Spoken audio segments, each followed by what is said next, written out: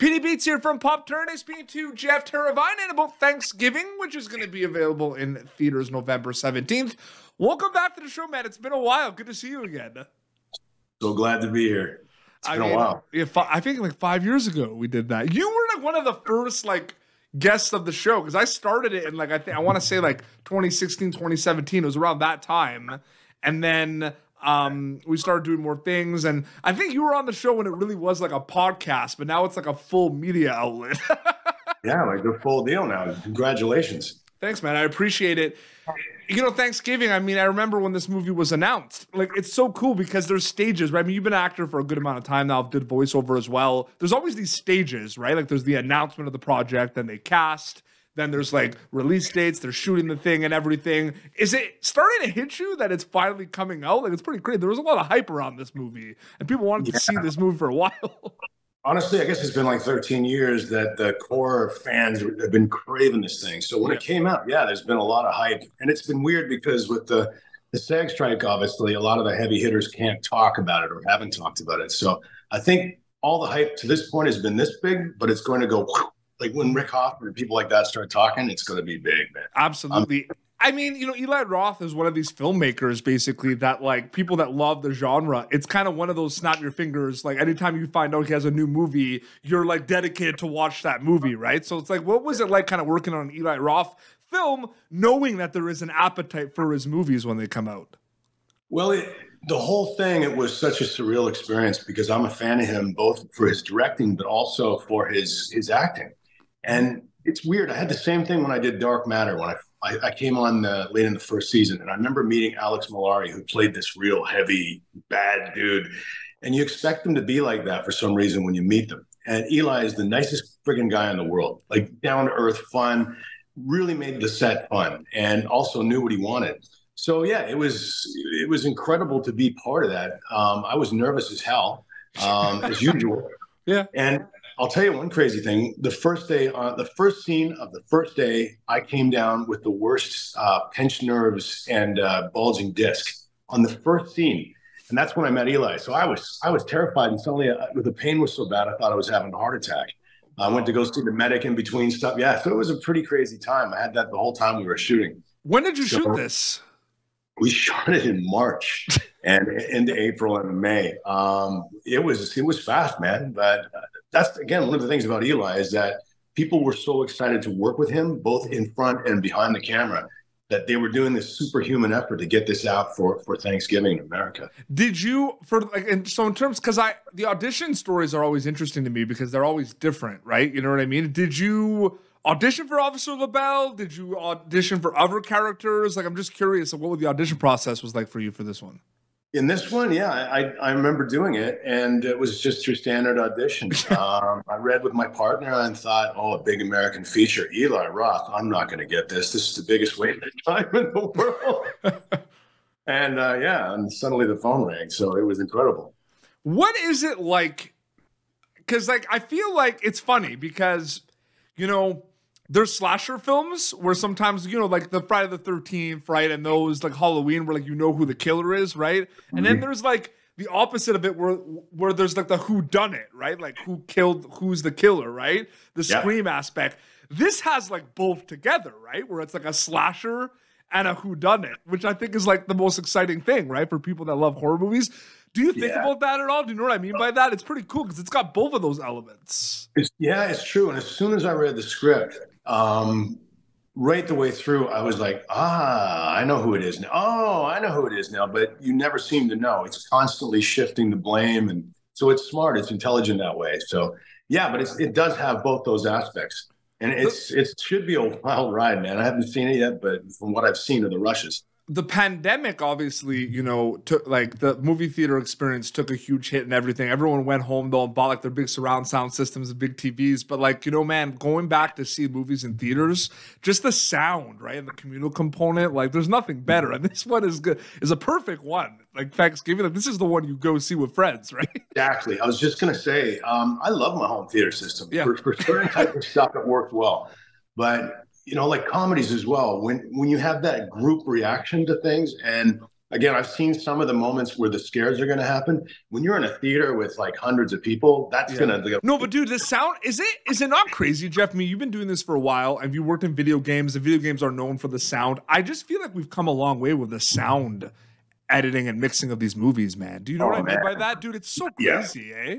You see the you, you, really get the difference when you start watching older films which i love. Yeah. But you almost have to tweak yourself to say okay remember this is 50 years old because almost sometimes can be cheesy some of the effects in that. Yeah. But yeah it's it's now like you got this 3d sound. You in my walls behind me i can hear things creeping around it's just no. It's it. like it's it, they're like the, the sound mixers and sound editors are like the uh, un, unsung heroes. We talk about like the crew and the cinematographers and everything because everyone thing looks good. But dude, like I remember this summer, like all the horror movies, like especially horror movies, the sound in horror movies is so good. Like I went to go see like Five Nights at Freddy's and you know uh, the the Nun Two and like the Boogeyman. The sound in these movies, dude. Like yeah, they, they really do make it. And again, like video games too. I remember playing Bioshock, and you hear something again behind you, and when you turn around, there is something there, but it, it's the sound that first draws you in. Oh yeah, and you're, I'm thinking, you know, this is a video game. It's but dude, i played Dino Crisis on PlayStation, and that scared the crap out of me. Do you remember Dino Crisis? Do you remember? I remember, yeah. the cages, right? You hear yeah, them back into the cage. Man, it's so crazy and everything. I feel like whether you've been on a set once or a thousand times, Jeff, there's always going to be learning experiences. You know, you talked about Eli Roth and what he brings and the fact that it was March and April and it was quick at times and everything. But like, I feel like there's always going to be learning experiences. So for you on Thanksgiving, from an actor storytelling perspective, what were some learning experiences for you? Um, learning this one, um, just kind of going with going for it more. Um, being part of the main cast. The, actors there's always different levels of what your your involvement in a film. And this one right from the get-go they made me feel like you know you're you're part of this not just like a day player kind of thing or something. Yeah. So it gave me a lot of room to explore and try things. And again eli was so great that way. It'd be like okay you know do this and this but you know if something comes to mind just have fun with it. And you knew you could do that. As opposed to some film sets you're on it's like you got to stick to the script and to the movements and your marks and everything like that. So I had fun exploring things this time, which was ball. It's going to be hard to go back to other sets, like when you don't, you're not able to do that. The horror movie genre as elevated, like it's always been around, but there's been a kind of resurgence and like some like you know spooky season. The amount of horror movies that people watch, man, it's crazy. You know what I mean? And like I feel like you know there are different ways to scare people. People are are writing like the psychological game and everything. But you know, we're going. This is an Eli Roth movie, right? You're gonna get the gore, you're gonna get the jump scares and everything. Is it cool to work on it like in a way like a traditional horror movie format, knowing that there are movies that do kind of different things? Like, do you know what I mean by that a little bit? Like, yeah, yeah. Um, this is this is my first type of movie in this genre, the slasher sort of thing. So yeah. it was fun. I mean, when you're seeing the props and everything as well, and it's over the top and it's fun and that's the thing, yeah. So, but I mean, also like other stuff as well, like the psychological thing. Yep. You just you tone it down.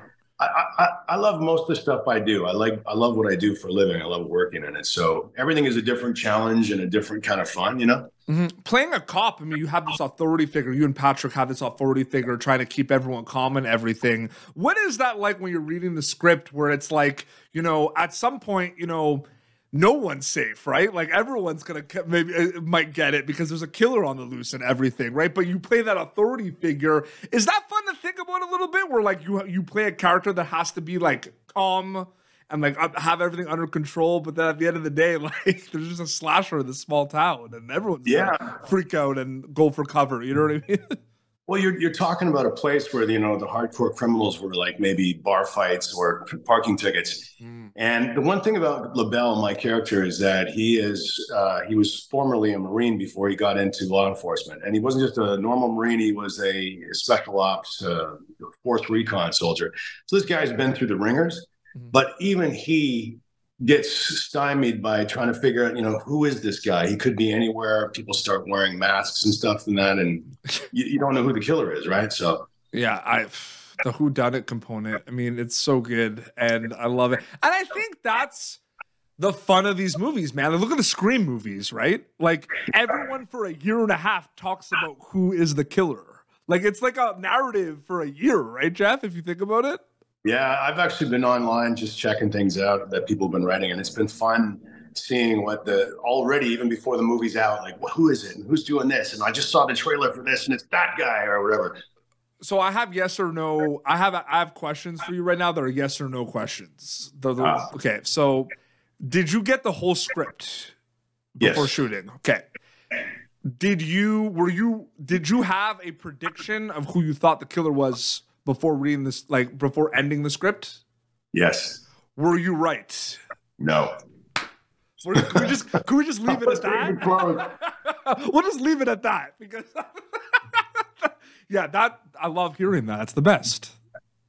Yeah, it was uh, like I said, the script read well right out of the gate. I was like, oh, I can't wait to do this because it was so cool. I'm surprised they gave you all this. Like all, I'm surprised because like I've heard like people don't get, but maybe it's different for TV shows. Like I feel like I've I've, I've interviewed people like who done TV shows where they don't get the last script until like later on, so they're not. It can happen, yeah. Yeah. In fact, actually, the last the last bunch of scenes weren't included, um, Okay. and that was purposely as well because it was a floating thing. They were, I don't know if they were just trying to confuse us or press if they got a hold of it or something like that. But yeah, that kind of stuff was changing all the time, so we didn't know.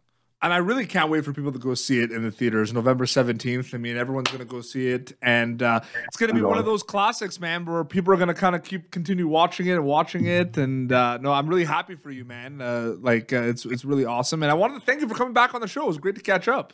Oh man, anytime you're a ball to work with here. Oh, absolutely. Yeah. So, uh, yeah, Thanksgiving is going to be available in theaters November 17th. They're going to be able to check that out via Sony Pictures. And then um, uh, your Instagram account, you're you're all you're you're, you're around, eh? Like on Instagram, people want to keep up to date. Yeah, Jeff Teravainen on Instagram. I, I'm on that thing too much, bro. Awesome. well, this has been Popternative, youtube.com slash Popternative for previous episodes. You're going to, of course, be able to catch Jeff Teravainen as LaBelle in Thanksgiving in theaters November 17th. Until next time, it's the Jeff and Peter Beats signing off. Thank you for tuning in to Popternative. Make sure to check out our past episodes of Popternative on YouTube. This has been an Autograph Communications production.